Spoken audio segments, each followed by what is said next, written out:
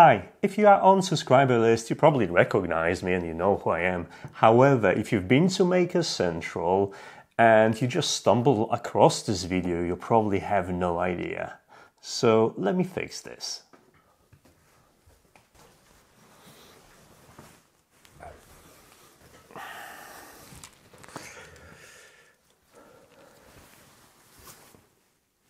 That's probably better. Now, before I'm gonna take you almost a year ago to the Maker Central 2023, I have a short disclaimer. First, big apologies because this video meant to be released probably earlier than that. This is the actually the last um, sensible date to release it just before Maker Central 24 and tell you all about it. So do apologize for that. And the second apologies I have to make is about the audio quality because hardware has let me down. The environment was quite noisy and literally I wasn't quite prepared for it. And one of the reasons why this video is so late is also because working with the audio was difficult and until some of the AI tools became available, I had no real way to fix it. So forgive me that and hopefully you won't be as annoyed at the audio as I, was while editing the original tracks. And the last thing, I am coming to Maker Central 2024, hopefully with my camera and much better audio setup, so I'll be talking to people again. With that said, enjoy the content.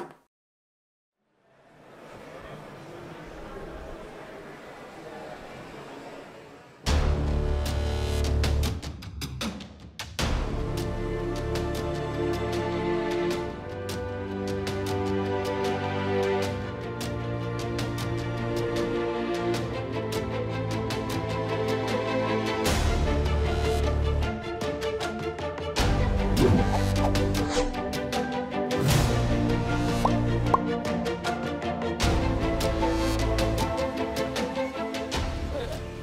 guys, I supposed to no. Hey guys, I supposed to film this intro at the very first day of Maker Central. However, I got distracted with all the wonderful projects and there we are.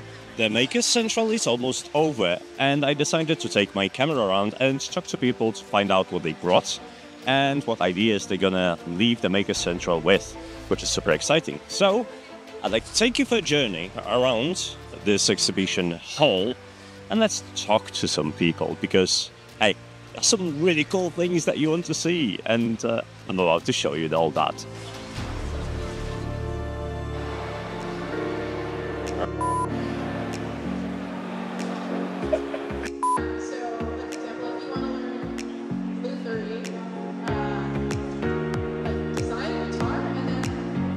Sailing, rocketry, and flying. What else? What are the other passions that people don't know about?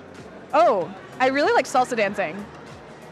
But I don't ever post about it because it's just like a thing I do for me. But yeah, I was on a salsa team in college. It's nice because salsa is always like nighttime, so I can work all day and get frustrated and then just let it out at night, which is which is nice. If you catch the flying bug, it's with you for life and you can never get rid of it. It's just like a core part of who you are.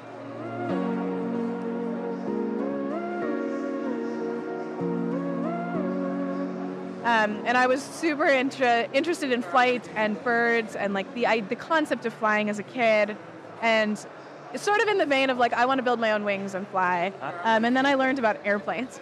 I was like, oh, this has already been solved. I can do this.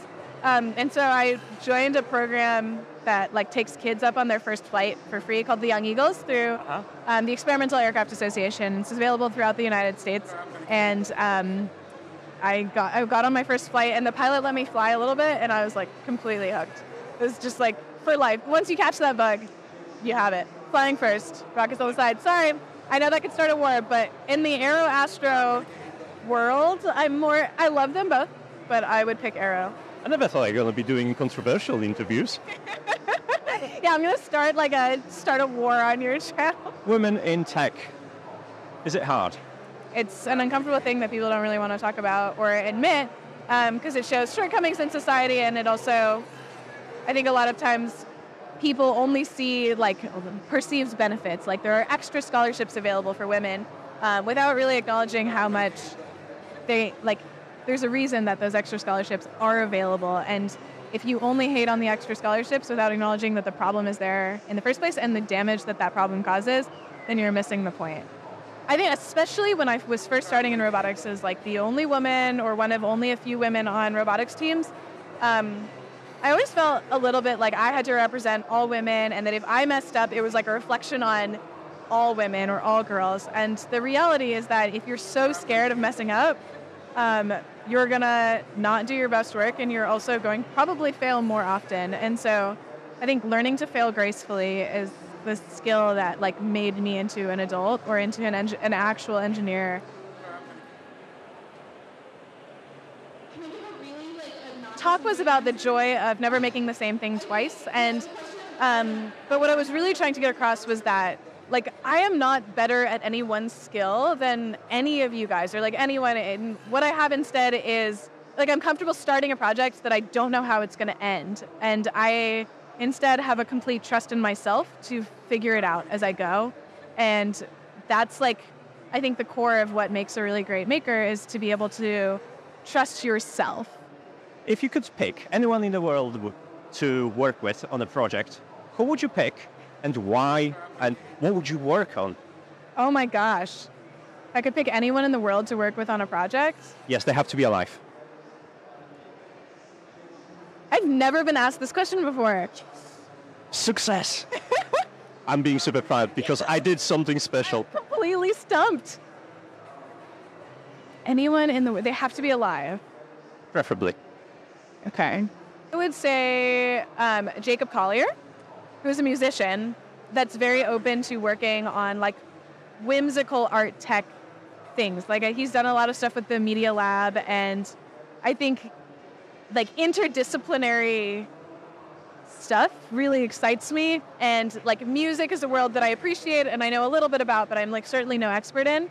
And so working with someone who's brilliant at something completely different than me, I think would create like a really cool. I think it's fair to say that you are a role model to a lot of people. So who are your role models? Role models to me often are people actually in my life, and I try to surround myself with friends that are inspiring and push me to be better versions of myself. And I kind of try to like take traits that I admire in a lot of people I've worked with and like work on them in myself. Um, so I have, yeah, like my, my family as a whole, um, but also I think especially throughout high school and college, I did a lot of like looking up to people that were only a year older than me or two years older than me and thinking like how can i get myself to that point in a year? And that's such a more attainable goal than looking at like you know the ceo of some company and being like how do i get there? That's like really far away. What's next for Xyla? this past year has been like really pretty rough for me honestly. I got robbed a couple times. I had some had some health issues. And like the place i found a lot of joy and solace was camping and going outside. I've always loved backpacking and just outdoorsmanship. Um, and so I think some of the projects I'm doing this summer are going to be more outdoors focused because they're things that I really enjoy. Um, and I have like a really cool backyard now, so I want to like make sure that I can like build a space that's really enjoyable. So. So how are your bo- how are your boats faring right now? My boats are all still floating, as far as I know. Um, I sold one of them, so I don't know what it what it's doing. I sold the party kayak. I don't know what it's doing anymore. Um, and the sailboat I just finished, and it's with the youth program in Seattle, so it'll be beat up by the end of the summer, but that's how it should be. Like, we, we make things to be used, and so I want a bunch of kids to ram it against docks and against other boats, and like that's that's why we make stuff. Awesome. Thank you for being such an awesome maker. Of course. Thank you so much for having me. Great. Thank you. Killed it. Selfie? Yes.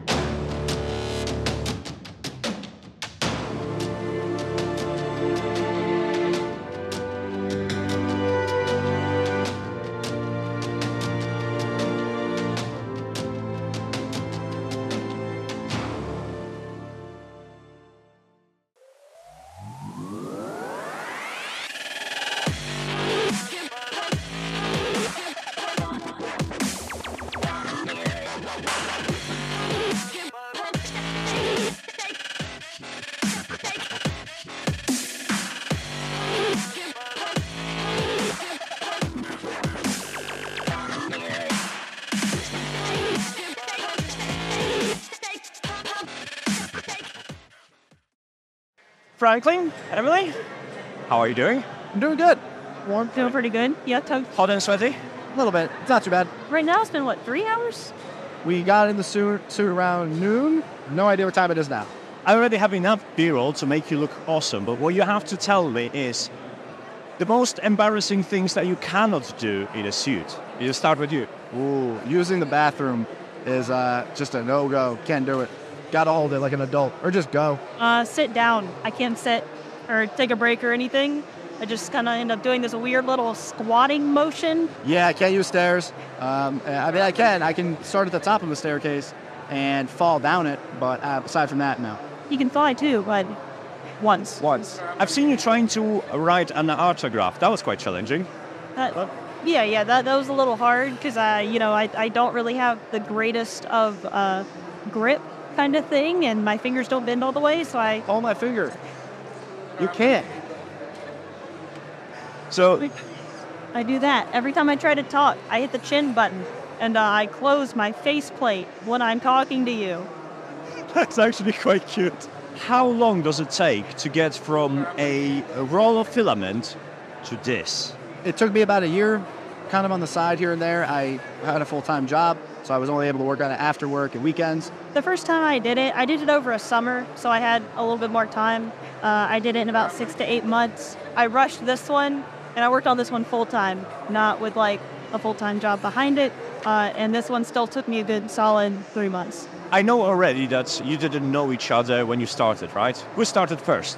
So I made a foam one a long time ago. I was 14, so when the Avengers came out, 2012-ish, um, and then I ended up making my first printed one in about 2017 or so, or 2018, around that time frame. I started in 2019 making this suit. This is my first suit. It has some wear and tear on it, uh, so it's definitely been used well. Yeah. Uh, how often do you have to reprint pieces that break? Um, it's not so much as reprinting them, but you are able to repair them, re-weld them, resand them. Um, if once the paint's too bad, maybe a repaint. Uh, you're really going to reprint stuff as you're fitting and building it when things don't fit. You've been working on this one suit, and you've been putting a lot of work into one suit kind of thing to make it like nearly perfect. Every time I'm sick of a suit, I just start over and build a new. So I haven't really printed new parts, but I've just been like, I'm gonna make a new suit and improve the whole thing, which would probably be better if I just focused on a couple pieces, but that's what I end up doing. Do you have to maintain a diet to fit in the suit? Uh, no, I am naturally a stick, and it I guess, in a way. Yes. Um, there was one time at maybe a year and a half ago, I was trying to get the, the abs wrapped around, and they were suddenly a lot tighter than they used to be. I'm like, hmm, should really lay off at McDonald's now. So it's good incentive to stay in shape. And then you're also standing and walking around all day. You have weight on your shoulders. So yeah, going to the gym helps. Apart from the light effects, uh, what else your suit is capable? Obviously, you have a base guard uh, out on the bottom, but what other tricks do you have in your suit? So this one, all it does is just the lights and the palm arc and the helmet. In a previous one, I had some flaps on the shoulders. I had some flaps on the back, um, but just never had time to incorporate the back flaps on this one thus far. But hopefully, at some point, I will. Pretty much the same. It's lights. It's a light show. Um, I do also have an attachment that goes with it, the backpack up there. Uh, that flickers and flashes too. But because it's the nanotech suit, it doesn't have any hidden panels or flaps and missiles. They get generated out of nanotechnology BS. What's next for you guys? Uh, is it next uh, Mark, I don't know, 10, 20, Mark 85? Or are you gonna jump into another project? Personally, I want to start making videos about things that aren't Iron Man related, but I also still enjoy doing this. So I enjoy doing it for myself, kind of thing. So I might make another suit. I might make a Mark 7, maybe stop post about it quite as much, um, and make my content more just like 3D printed oriented in general. Um, but still do this on the side because that is what I like to do. It's fun. Didn't mean to do that. Uh, I'm actually remaking this entire suit because I, I there's been so many problems with this suit. It's broken, it's cracked, it's seen a lot of wear and tear. So I want to make a brand new one because I've learned a lot in three years. I've gotten better at this. But then I'm also making a Gundam cosplay suit. So I'm branching out into an anime cosplay that I'm very excited about. Pick a maker, pick a person that inspires you, and what project would you like to work on with them? I think it'd be really fun to work with either Mark Rober or Kyle Hill on making some type of sciencey robot project. I think that'd be very entertaining. Think of YouTubery type people when I think of stuff like this too. A lot of the popular makers nowadays are YouTubers. They're science communicators. They're educators. So there's it's hard to find makers who aren't putting themselves out there in that aspect now. Everybody, for better or worse, is behind a camera, and there are a lot of awesome people who are amazing makers who just also love sharing that. So a lot of them are just YouTubers. Fair enough. And lastly, throughout the show, because it's the second day, what was your favorite thing that you'd seen uh, Maker Central? Did you know? I didn't know until I got here. Emily the engineer was going to be here. I didn't know. I, she, well, she's right here. Showed up beside him. He had no idea.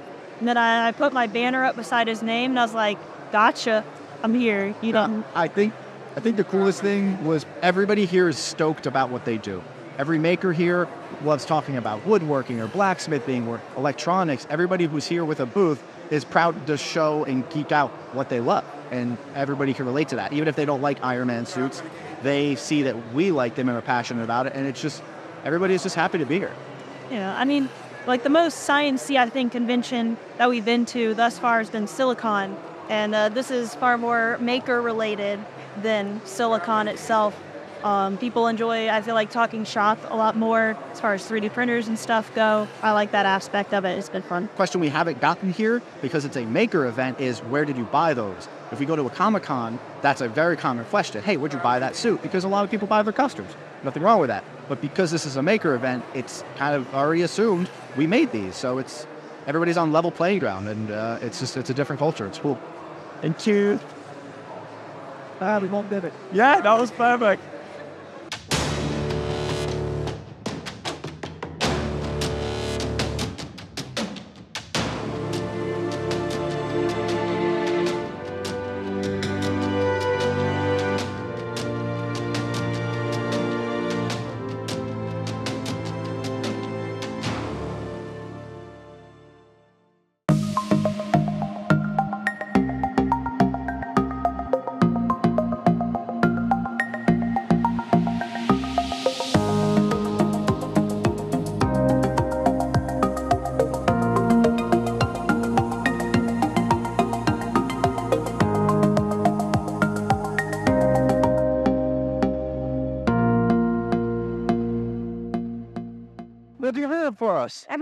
Phoenix puppet. Why does it look angry and uh, looking at me in a so peculiar way?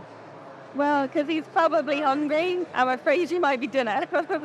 really, I'm obsessed with birds uh, since a very young age, so it's building on um, knowledge that I've just gained ye- over years and years. This particular puppet took just over two years, but I've made other birds before, and um, so it's really just building on. So do you have actually education in in birds? Uh, my mum's a biologist, and my dad's um, an engineer, so like we sort of And they had a child. and they had a child and they made bird puppets.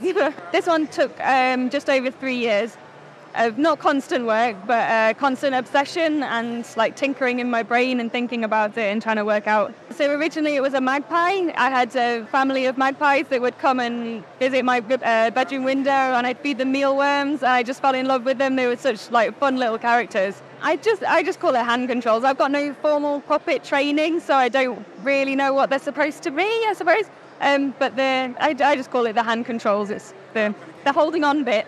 And how many fingers do you need to control it? About twenty How many do you have? on each hand. um, I've got like the normal amount. And then on the wing bar, if you twist it, it opens and closes the little alule feathers. Uh, the tail is on my wrist. It moves up and down and flares the tail. And then there are levers to kick the legs forward and pull the legs in for in-flight mode. Um, and then there's a lever which pulls the neck in and then the three points on the head give it really nice, sharp, snappy movement. And then I've got individual string for the crest and for the beak. And I've got a little sparrow as well that was my first puppet that I flew around here in 2019, I think it was, and uh, got got really good feedback. And it was the first time I'd done puppets outside, so it was really nice to be here. Prawn, I really like doing fantasy creatures because you don't have uh, like a set thing that it's got to be. Um, so I think maybe a unicorn and you got a lot of uh, creative freedom with it. but also a frog. I think I might make a frog, like a little hopping. Like I think the hopping mechanism would be really interesting to get that looking realistic. You know. I am Laura Mathews Art um, on Instagram and TikTok, and I have a Patreon and a Facebook as well. And that's that's what I do.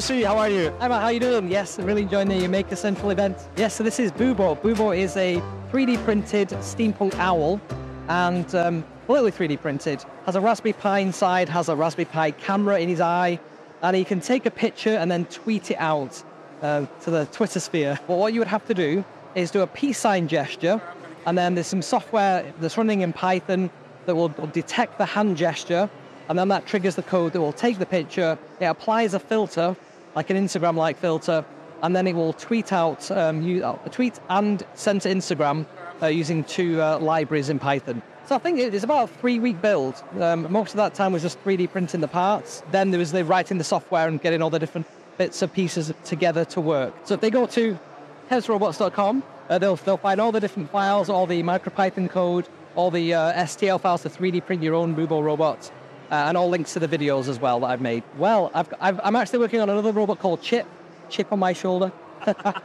He's not too dissimilar to uh, the robot we've seen um, as we've been walking around. What's your favorite thing so far at Maker Central? It's got to be this Johnny Five robot that we stood right next to. This is absolutely amazing. I'm sure you'll be showing your viewers what this is shortly, but um, it's just amazing. It's just such an epic build.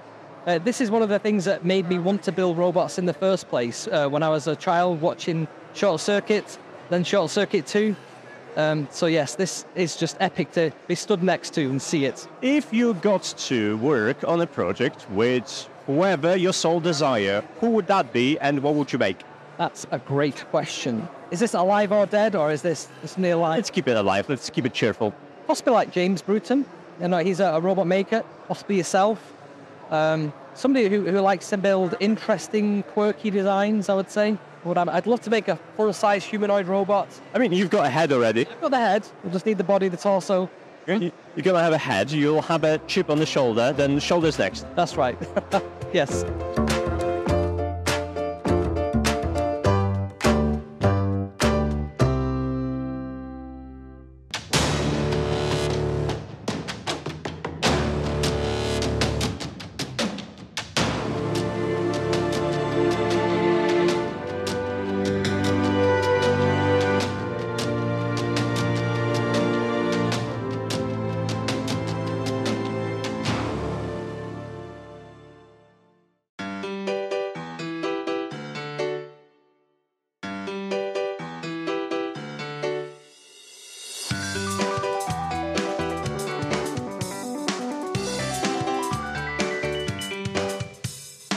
I'm very well, thank you. I'm doing a lot of business here. I've been sat here doing a lot of business with my upside down phone. Um, it's really important when you're at a big event like Maker Central to do as much business as humanly possible, um, particularly when you're in a portable business office. There is working from home, remote work, and there is this. Explain. So we had the pandemic, uh, we were all stuck at home, and uh, then we were able to go back to work. But some people like to do work on the go, so that's what we're doing today. Um, this was an invention idea sent into our YouTube channel, Kids Invent Stuff, uh, by six-year-old Ella, and her idea was for a uh, a baby walker for adults.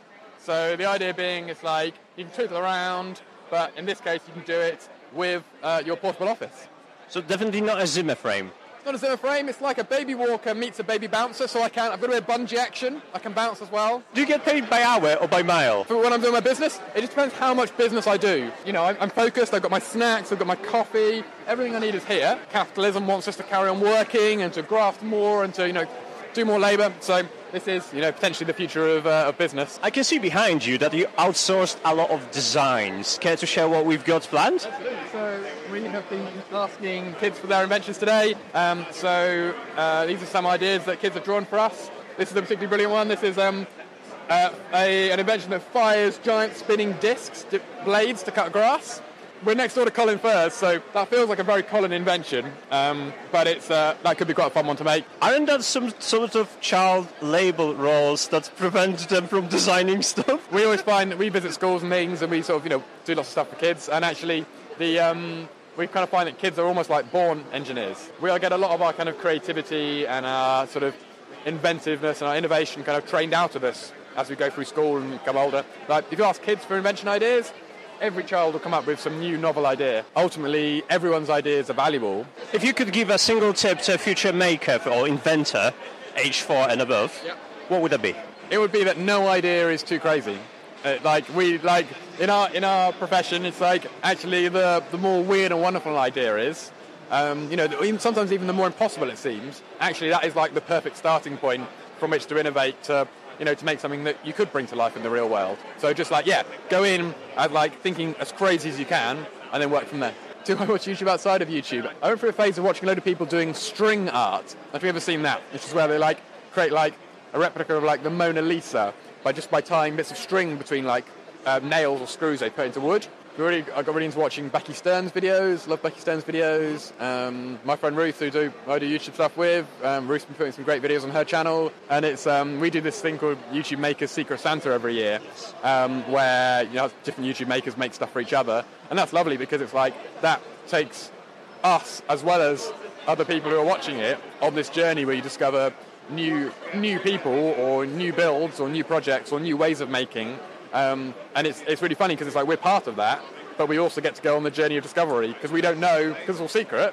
We don't actually know what everyone's made until they've made it. If you could pick someone in the world, it, not only to you know limit it to YouTube, to work on the next project, who would, would you like to work with? yeah, I think it would be really nice to do um, to make some things um, with some some climate activists and with some people who are kind of using art to spread important messages around um, the environment and around the climate crisis. Yeah, there are lots of really really exciting stuff going on in that kind of art meets environmentalism space, um, which I think is something that I find quite exciting.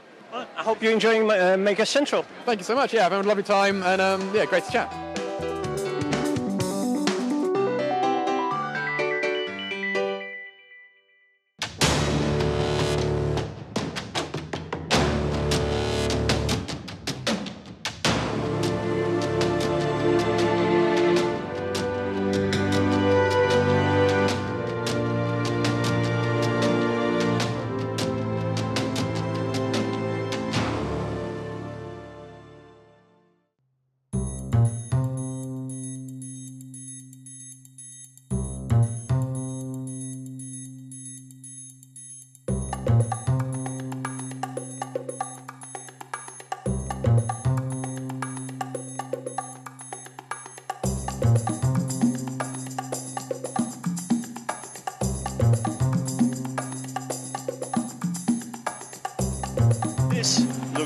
Tell me all about it. It is scary. It's a little bit scary. It's based on Terminator 3 Rise of the Machines. They were called T1, and you see them in the film for about two minutes. That was 20 years ago. The film was released in 2003. It inspired us to make a robot, and we wanted to build a tracked robot, and we've been struggling with how to build a tracked robot ever since. It's Robot Central. It sounds like a company. I work for a robotics company, and we don't do anything like this. When we made this robot, we thought, yeah, let's take it out and show it to people. A little bit scary. So we made up the whole concept of Robot Central in that we thought, what happens when there's no more wars? Let's make the robots do the washing up and the cleaning. And it's become Robot Central Domestic Division.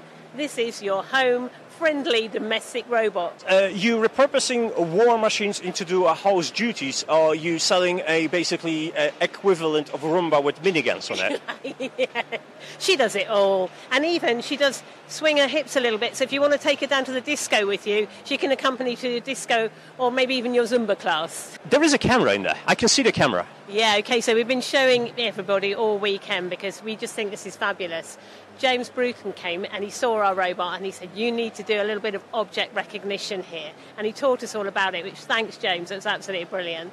But we basically put a Raspberry Pi 4 in here with a little camera And then when we process, we downloaded some free software, which is CV Library, and we've been showing people the software. You don't have to be a coder; you just download the software, run it, and it recognizes about 800 objects, including people, which we changed the labeling a bit. And the, when it sees a person here, on the screen you can see it says terminate because it's a naughty robot. If it's a Roomba and it vacuums stuff, it takes out the trash. But uh, these things. I think we need to uh, program it to recognize the trash as well and take that out. so, are you planning to integrate the vision into some basic controlling and aiming procedures? Don't tell anyone, but we did manage to take the output from the Raspberry Pi and trigger it so that when it saw a person, it would move its arms and spin its guns. How long does it take to design a machine like this? We started the project in January and it's taken about a year. We have other jobs come in, of course, you know, so we're not working on it full time. I'd say about nine months of solid work. Not to 60? Not to 60. Does 15 miles an hour. Takes a little bit to get there. Um, how many bullets per minute? Thousands. um, target piercing bullets? Oh God. now you're getting too technical for me. I see some rockets. I see some rockets, yeah. People have been asking all day, are the rockets real? Hmm. We don't tell. We don't tell. Pitching something as a deadly robot that is essentially a, a wheelchair. A wheelchair made of wood. So we wanted to use electric motors. We've got two 450 watt wheelchair motors. And in the end, we had the idea of using a composite material, which we use plywood, um, webbing that goes that does the joins, which is a material, but we got some with a two ton braking strain and um, we were very fortunate to know a very friendly mathematician who helped us work out the diameter and the, and the detailing of the track. Is this done? Or is it, it are you moving to a next project, or is it uh, you're going to still continue working on this? So Tiffany, she's got to practice her social skills now. This is her first time out. We're hoping that she will go out and meet lots of people, and maybe she could become an influencer. I don't want this to meet people. That's a terrible idea. She's fine. She's friendly. We've got her gun caps on. She's got a red eye. she's looking at you. We actually made the little Johnny Five toolbox today because we knew Johnny Five was coming, and earlier today we got them both together and they had a bit of a dance off, and that was really, really cool. But yeah, there's loads more in the pipeline for PodPad Studios. Okay, and if you could introduce Tiffany to a potential mate partner in the future, what robot would that be? Oh, well, I think it has to be a strong robot. Yeah, I mean, definitely not C3PO. That's very. There, there, I've seen a couple of droids, you know. Yeah, there are some R2s here, and she's had a little look at them, but you know, she's like, flee, go away. That's great. So, where can people find more about this robot and about you guys? Yeah, so just follow PodPad Studios. We've got Facebook, Instagram, and YouTube, and we put loads of videos about how we made her because it was a labour of love. Um, so you can watch the whole project through. And uh, yeah, please give us a follow, and we'll put out when we're going to events.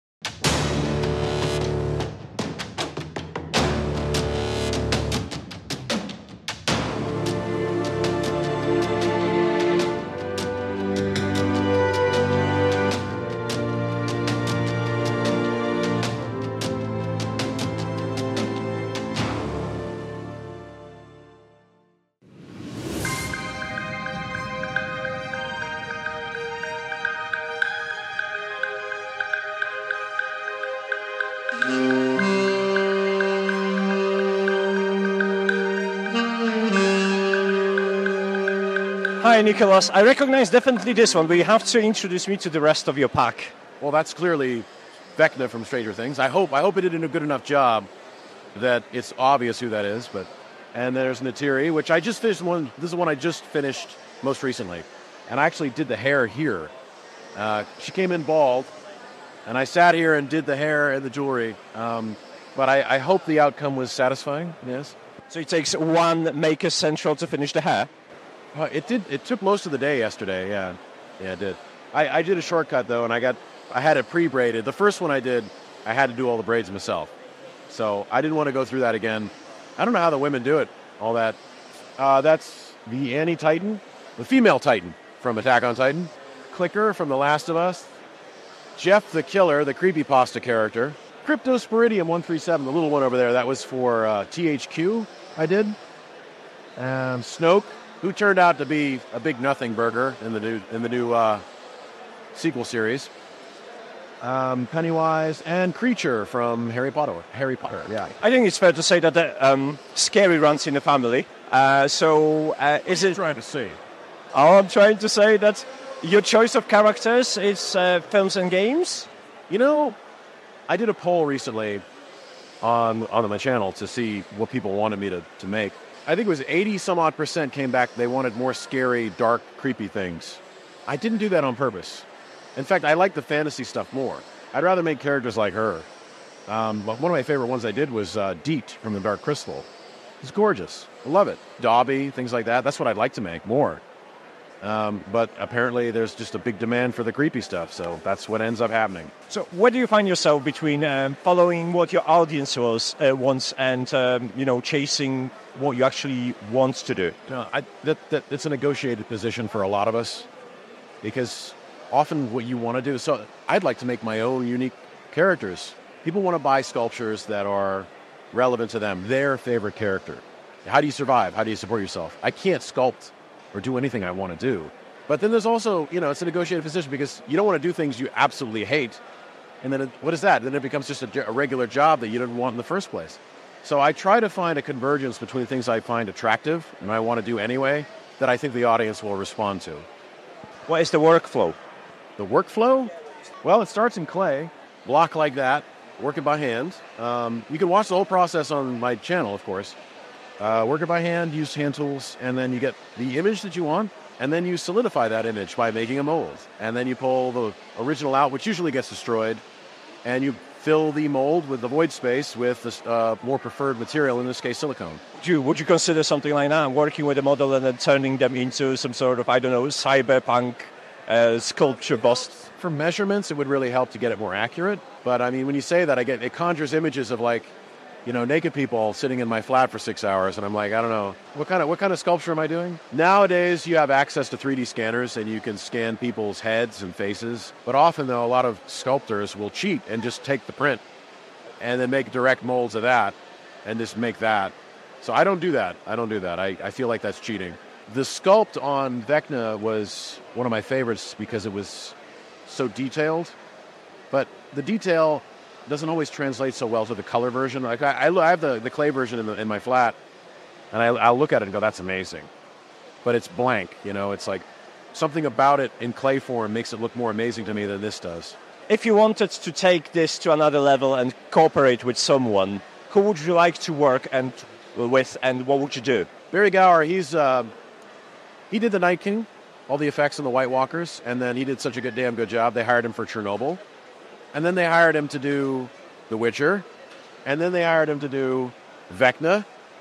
Um, and now, then I did the clickers from The Last of Us in the new show. So the guy's like, he's the industry's leading practical effects guy now. What is your next project? Do you have um, already something in mind that you're going to scope next? Yes, I do, but I'm trying to keep that kind of quiet. Okay, we know it's Star Wars. I think they'll like her. It's Star Wars and it's her. Uh, post your comments and choices. Who, uh, who's that going to be? And we'll find out who's who's right, basically. Right, where people can find all of these things. That's it. Enjoy your Maker, Maker Central, and thank you. Thank you, my man.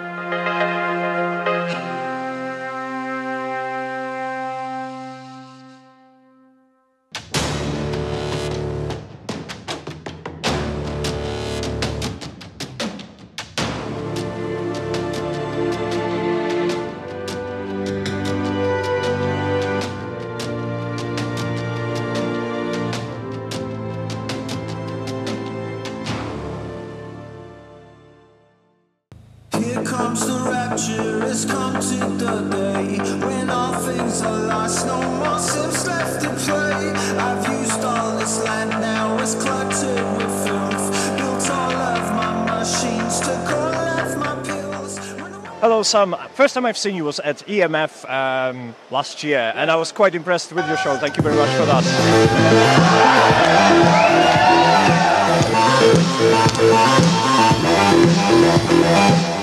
What did you bring today? Oh well, um, I've bought a pretty much the same thing. The synthesizer that's over there, the gig, uh, that's my Kosmo gigging synthesizer. Then I bought the Teletubby Tidal Wave, which is a Teletubbies that do a wave, and then another couple of old bits and bobs to show people. Uh, actually, your neighbor Matt has paid you a compliment saying that you've got really nicely labeled stuff on your synthesizer. Uh, is it all hand drawn, or do you use like a CAD machine to, to create the labels? Um, mostly it was hand drawn. I did it with silver sharpies, and then as time's gone on, I've been building, uh, designing kits for people to build. So now there's uh, printed circuit boards that are etched on the front panels. What got you into making this stuff uh, in the first place? I have no idea. I tried to build a guitar pedal, and then I was like, "Oh, that's interesting." So I modified toys to make a musical, and I started building synthesizers. And it went from there. Given an opportunity to, to work with any musician out there, who would you like to collaborate most with? Beethoven. Uh, who would you like to collaborate most with that is still alive? Elvis Presley. Oh no! I've got outplayed. I've got outplayed. I don't know. I really don't know. That's a really. I, I, the only reason I was trying to act, act silly because I don't know. There's um, that's tough. What's your musical inspiration then? What's what's the music that you listen to when you have a moment to yourself and you want to relax? I whistle to myself. I'm not joking. I just whistle. I love whistling. I, I just like listening to what's whatever's on at the time. Like just take it in, not really choose it, but let the fate decide what you're hearing. When you're creating a new a new instrument, well, like I don't know how to call them sometimes, but an, in, an instrument. What is your design process? What you start with and uh, how you progress? Oh, I don't know. It's all different. Um, just a random idea, and then try and figure out how to do it. Uh, usually, the idea comes in the shower. You know, you're like, ah, oh yeah, I'll do that, and then you do it. like I was quite impressed in how quickly you can switch between instruments during your live performance, and you feel comfortable with stuff. Uh, what is your oldest instrument that you have? Oh, guitar. I started with guitar, playing guitar. I don't play it as much anymore because I play synthesizers, but yeah, I'm a guitarist. And uh, which synthesizer that you've made is the oldest? It's called the Cosmonaut, and it was just a, it's just a, a copy of a Korg MS20 that I built. What was your favorite thing so far that you've seen? Johnny Five over there. That was quite impressive. I love jo- Johnny Five is my favourite, yeah, robo. If you're going to build a robot from a film, it's got to be Johnny Five. Imagine Johnny Five trying to play on an organ. All right, thanks so much for talking to me. Thanks, mate.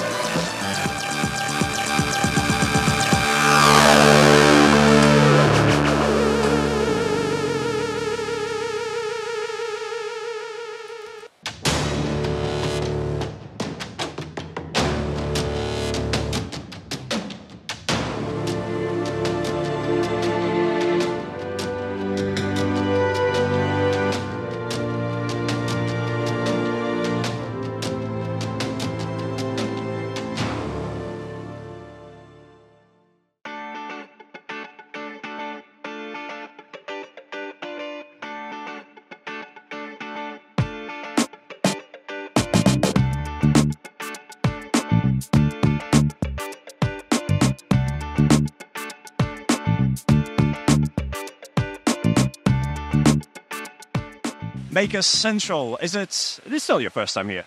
No, it's my fourth time now. I was here the very first one in 2018, I think it would have been. That's nice. And previously, I've seen you at the EMF camp as well. Uh, yeah, I've been actually to the two previous ones. So it's 2018, I was there with Matt Denton and the Mantis Robot, helping him out with that. And last year, yeah. And now the next one's 2024. Oh, I really liked uh, Look Mum No Computers by Cynthia. I think that's his first time here. So he's got some of his uh, Kosmo synth. So that's been good to see. And the uh, Mexican wave of Teletubbies. Oh, yeah, yeah. So that's good. Andy Collins back again. So get to see the screw tank in person, all those good things. It looks so definitely impressive. You've got your uh, ball chair with you, is that it? Yes, the big omni wall wheeled vehicle. Because I made a small one, everyone said make one you can ride on. Uh, Were you allowed to drive it here? I haven't tried, but Matt put his go kart on the floor, and as soon as it touched the ground, uh, it was like security guards standing behind him. What are you doing? So, uh, yeah, I haven't tried driving it. So It's in not- a- doesn't really go where you want, so it's going to be dangerous. In a drag race uh, against Matt, who would have won? Oh, well, with a go kart? Yes. Oh, he'll win that, yeah. How about going sideways? Uh, going sideways, does he have to like three point turn like this? Yes.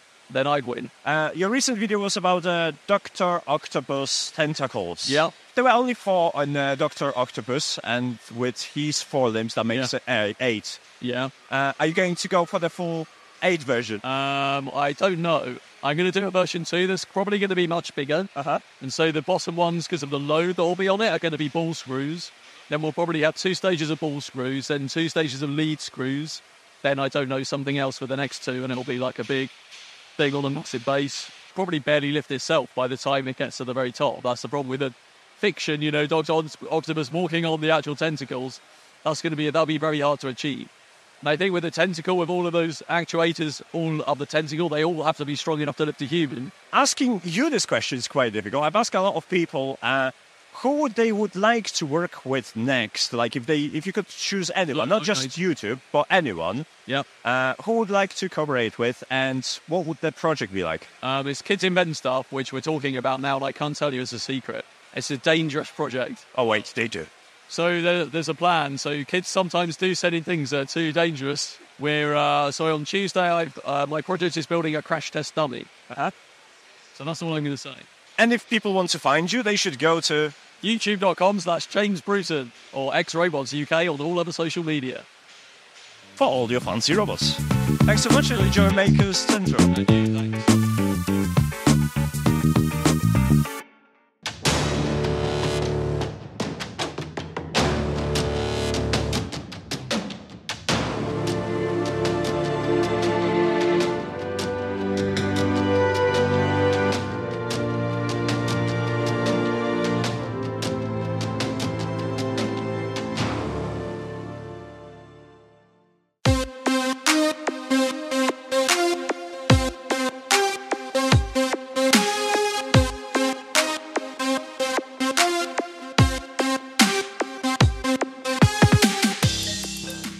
Hi, Matt. Everyone knows you for this. Yes. How fast is it? Currently 30 miles an hour. 30 miles per hour. But my important question is due to oversized um, build, does it come with an equally big instruction manual? Interestingly, there's the one thing you don't have to scale up is the instructions. But you would have to scale up the box.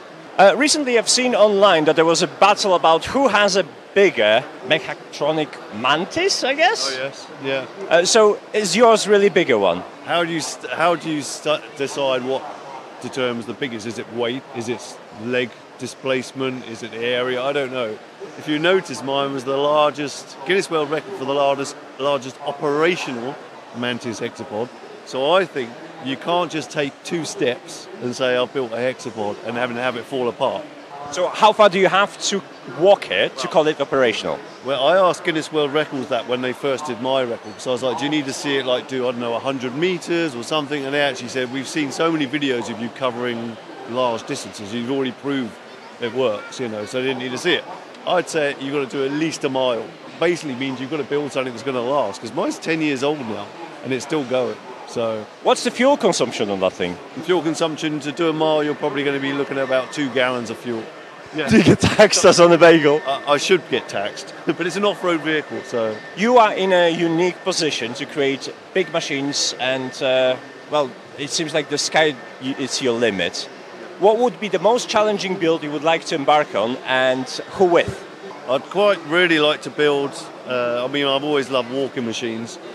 If if it was possible, I'd love to build a like a full-size ATST Scout Walker, two-leg bipedal, especially in that design. It's such a beautiful design. In fact, my talk later on has a little nod to that. You'll see, but uh, yeah, something like a big chicken walker thing, you know. But that wouldn't be made out of Lego bricks, right? No, no, that'd have to be steel. I think steel fabricated. Um, I don't know who would I do that with. Probably someone crazy like James or Colin. You know, someone crazy enough to build something on a large scale. Is it 3D printing that got you into your whole let's make big um, Lego bricks, or something else got you into that idea? No, just 3D printing. I think um, obviously having a love of Lego when I was a kid, Le- Lego Technic in particularly, uh, and then I saw James Bruton had scaled up a Lego brick, and I was like, oh, I wonder if you could do a whole kit. And I wonder if you did a go kart, you could make it big enough that you could actually ride a giant scaled Lego inspired go kart. well, I've done the bulldozer, the tractor, the forklift truck, and I'm doing the car chassis, but I've not scaled anything to this size. So everything else is five times scale. This is 8.3 times scale, just so it's big enough for me to ride. But I'm not. I probably won't ever do anything this scale again. It's just vast amounts of plastic required. You know. It's- What is the biggest challenge of scaling up? to be honest, it's probably time. it's time and materials involved, you know, because you go from a two and a half time scale go kart to a five time scale go kart, and you've got eight times the volume, eight times the material, eight times the time. You know, it's just scale. Every time you double the scale, eight times the volume. So How much rolls of filament do you have at home right now? probably say about uh, 20 or 30 rolls, uh, but some of them are three kilo. Ah, okay. I was I was just about to say like 20, 20 rolls. That's not that much, but when you when you mentioned like uh, three kilo rolls, that's that's a lot. What was the most favorite thing that you've seen so far in uh, at Maker Central? Uh, favourite thing I've seen so far, and I've barely looked around to be honest. It's been quite tricky. I've, I've had one little tour about. Um, what was my favourite thing I've seen? Actually, it's quite nice. I just love Sam's stuff. To be honest, I love his control panel. I love the way he he writes his you know his, his interfaces and stuff. He's sort of got his, some of it looks laser etched now, but I love the stuff he used to hand write on his controls and just the amount of dials and buttons. So uh, yeah, it's really nice having Sam as a neighbour. Very inspirational. So, Awesome. Thank you, and I'm looking forward to your speech. thank you. Thanks very much. Yeah, I saw it there. We're gonna cut outside now. Thank you so much.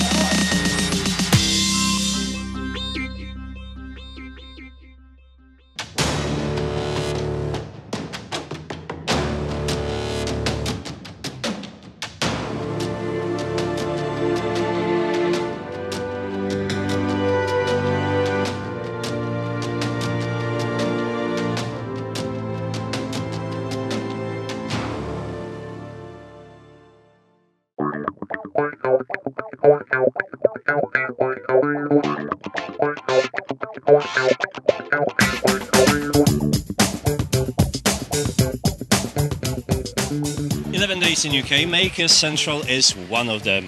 What's your favorite thing so far in here? In Maker Central, it's like I would walk around, bump into someone, have a great 15 minute conversation, and then walk for five more minutes and repeat. It's just all like the conversations I've had with people, and it's just made all these little like sparks in my head. But if I would have to pick a physical thing, I think it might be the uh, the converted van and airstream over there. Like, Is it because of all of the wood? The wood's nice, but that airstream is like really big inside. I did not expect that it would be like so livable. I might be exploring that world myself in the future, so it's very inspirational. So, on your YouTube series, you work with uh, wood. What is the most challenging thing about uh, working with that medium? like wood is a is a natural material that doesn't always behave the way you want it to. When you have a very specific vision in your head and the wood isn't cooperating, that's always hard. How do you feel when you work on a project uh, for a long time and you are particularly proud, but then the feedback from the people that follow you is just like a slightly disappointing? Does it bring you down, or you just uh, piggyback on the fact that you are very proud of this and you're okay? Yeah, I get a fair amount of negative comments on my channel, and my fiance said something to me, which has been kind of like a guiding mantra, which is that like you need to decide if the project was a success or a failure before you put it out into the world. Um, so I try not to base my own value on comments. Like it's great, the positive comments are lovely, and you know I'll always read constructive criticism. Um, but I try not to really engage with any negativity on the internet because I, that's not how I want to put myself out there. You're based in Canada. Yeah. What is the weirdest thing about UK for a Canadian person? You, you know what I really enjoyed is all of the signage. Like it tells you a rule, but then it gives you a reason for doing it. And a lot of times that reason is like because it's the right thing to do. Do not leave rubbish here because it is unsightly. And that's never something you would see in Canada or the US. It would just say no littering. You know, they always they just like tell you what to do. If you had a choice and you could pick anyone that is currently living uh, to work with on a project, who would that be and what would you make together? Anyone, but they have to be alive. They have to be alive. We're not doing zombies. I would want to choose someone that like either has a completely different skill than me or is like way beyond my skill level. I, I really feel like it would be making a video with a very talented filmmaker. It's gonna sound corny, but it might be Casey Neistat. I think making a video with Casey Neistat might be a, yeah. Uh, I've been using making this channel for about five years. I did have a couple other channels when I was very young. And if we would go back five years, Yeah. what would be the single piece of advice you would give it to yourself? Honestly, I'm really happy with the way things went. So I don't know if I would tell myself to change anything. I think I probably could have like appreciated where I was at the time a little better. So I was living in Montreal when I started my channel, which is an amazing, vibrant city. But all of my videos take place in my apartment. I mean, I mentioned Casey Neistat, right? Like Casey Neistat uses New York City as a character in his videos. I even did some really fun things in the city that I just never even thought of filming. Like one time, the 420 celebration in Montreal is like huge. And I made 100 chocolate chip cookies. They didn't have drugs in them, but I made 100 chocolate chip cookies and I went and just sold them. And I, that would have been such a fun video to make, but the idea never crossed my mind at the time. Do you find yourself sometimes uh, starting a project and then deciding halfway there that, you know what, I'm just going to do it for myself? I haven't done that. No, I've started projects and then abandoned them, but most of my projects have a video wrapped up in it. I mean, like I love making the videos. Outside of you, like when you're not engaging in YouTube and not watching it to kind of benefit you directly, when you're doing it for pleasure, what kind of uh, content do you watch? I'm a fan of some of like the most popular show, popular um, acclaimed shows right now. So like I just watched Severance. I really enjoyed that. Ted Lasso. I really enjoyed that. And I love movies. Like I love Christopher Nolan movies and Quentin Tarantino. But like outside of the makerspace, like Ryan Trahan, the YouTuber, is like one of my big inspirations right now. Like his positivity and energy and genuineness on camera. Um, so I love watching his videos. Do you have a next project already in mind that you're gonna get back to once you're back to Canada? I'm making a, a video that's a story about smashing my watch when I crashed my one wheel because I was showing off for a kid. Any scars? Yeah, I, I scraped the skin off of my thumb. I don't know if the camera can see it or if it's autofocus. Uh, and it's it doesn't hurt anymore. Yeah. All right, I hope you're gonna enjoy the UK trip and have fun. Thanks for interviewing me. It's great talking.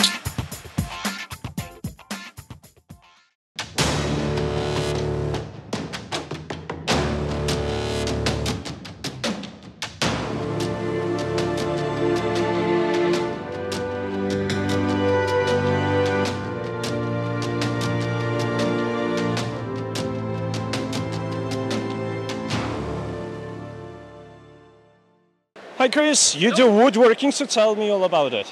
Yes, I am the Woodgineer.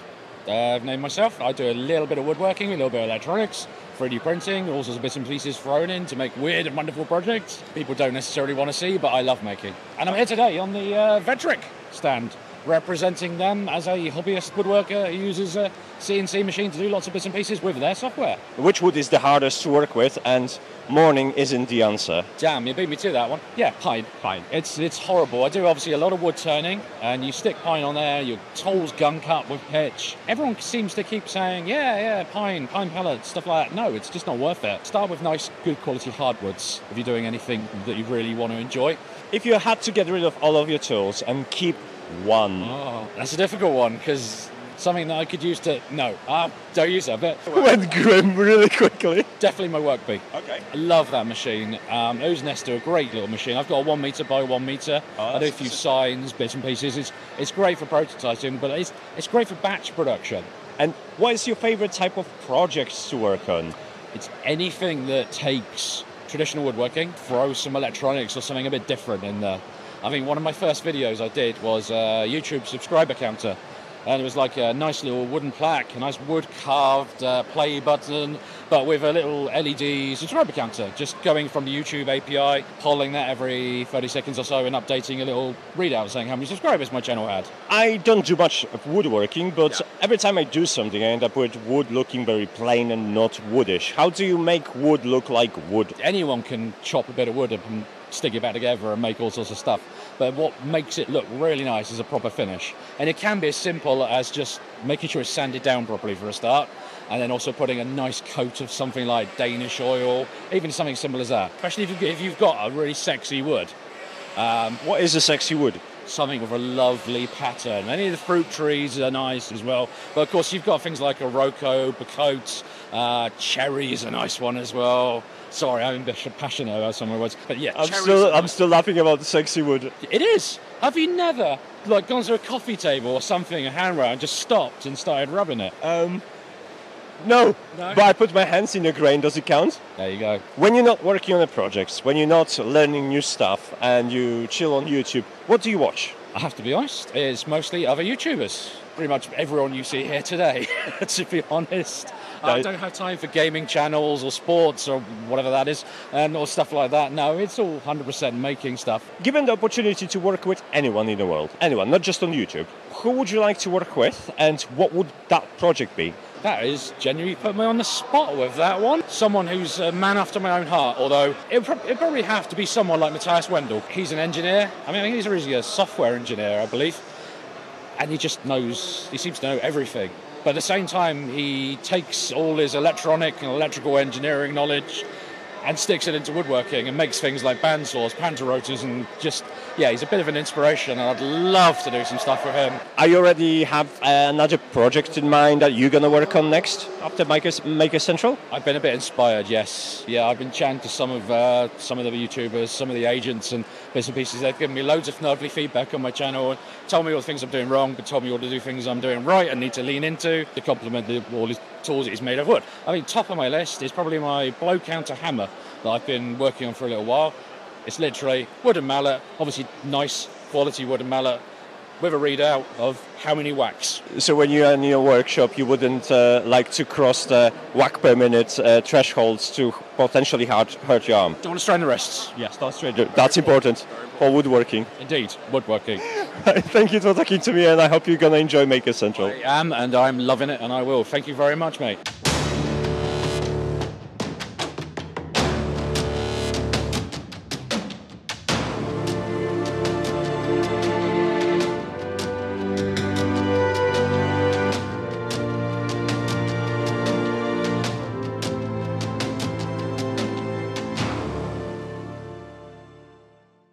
I'm Ryan Howard, and I made Johnny Five. How do you make a Johnny Five?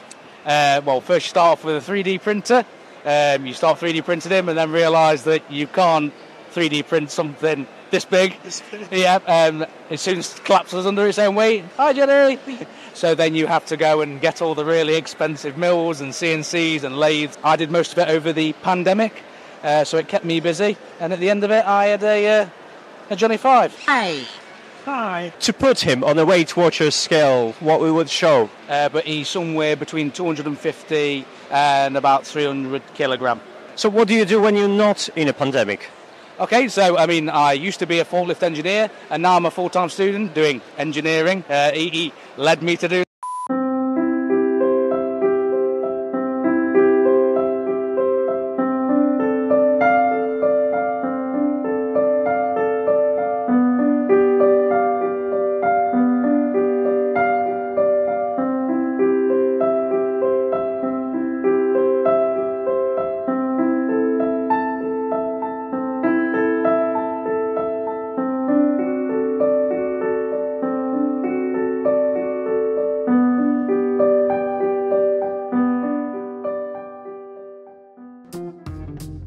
I hope you enjoyed that guys despite the obvious audio issues.